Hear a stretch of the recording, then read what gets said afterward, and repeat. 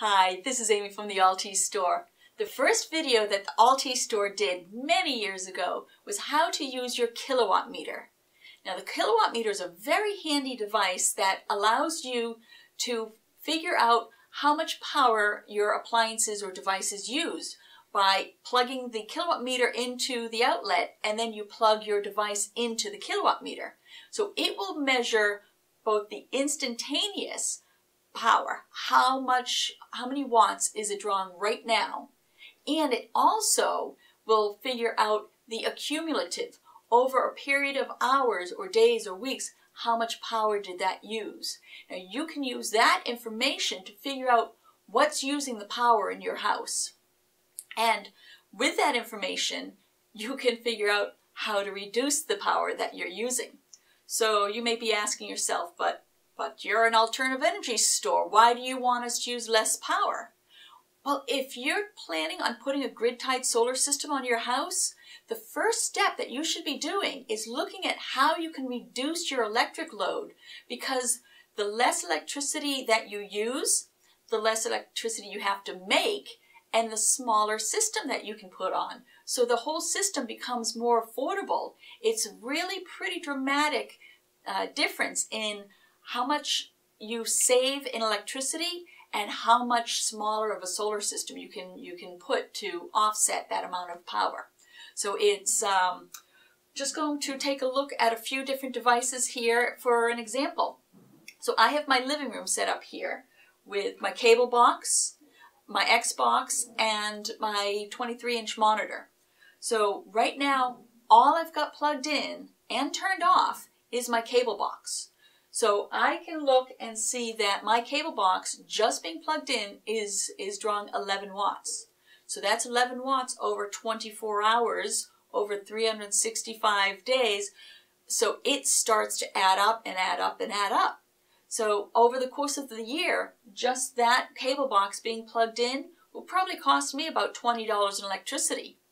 Okay, that's not going to break the bank, but when you start adding other equipment in there that's doing the same thing, it's really starting to add up.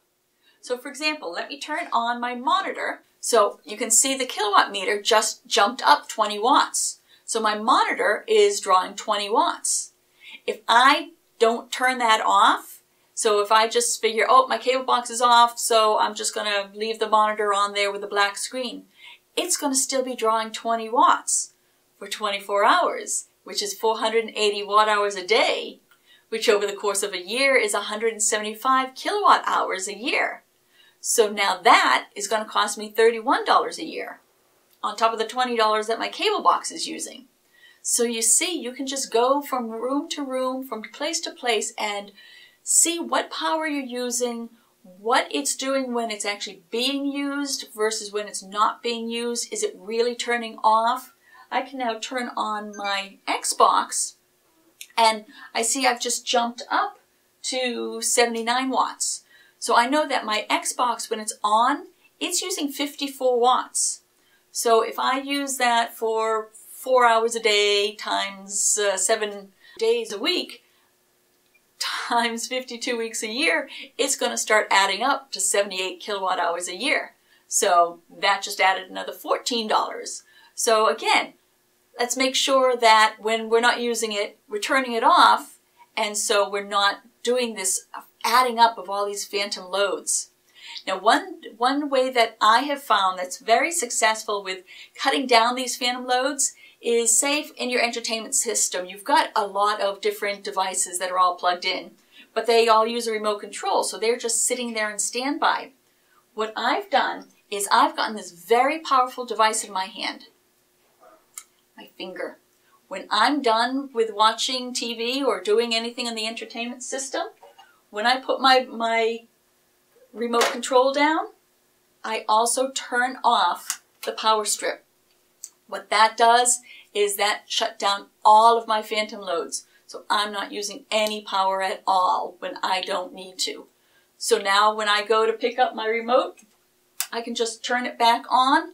Everything's going to come right back up and I can just continue on. I've probably just saved myself $50 a year, so I can go buy myself a new Xbox game. Not bad, huh? I hope this was useful, and if you liked it, give us a like and a share, and please subscribe to our altE Store channel, and also go to our website at altestore.com, where we've been making renewable doable since 1999.